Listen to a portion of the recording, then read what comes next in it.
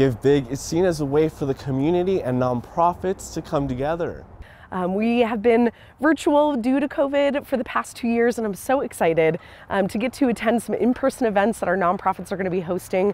One of those nonprofits met at Sidewinders, teaching the community and honoring service members with the moment of silence. We bring in active duty special operations soldiers for post deployment decompression programs.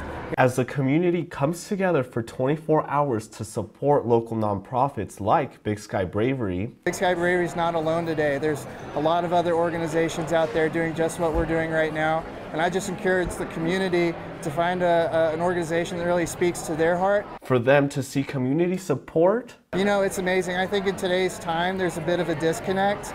Um, and to see, you know, the local community rally around uh, our nation's military is really inspiring. And for Stuart, his inspiration? I'm a civilian through and through, but I feel a strong calling to give back to those who have put it all out there for us. The nonprofit, which has been around since 2015. To see where it is now today is an amazing uh, feat because it's not one person, it takes a community. During a time with a lot of economic uncertainty, our economy um, is really complicated right now. People are still so generous. They reached their $10 million milestone. Just reflecting about um, how far our community has come since 2015 when we started Give Big to right now. But before they set goals for the next year, right now we are just trying to celebrate what our community has done this year, but we'll definitely keep you posted on that.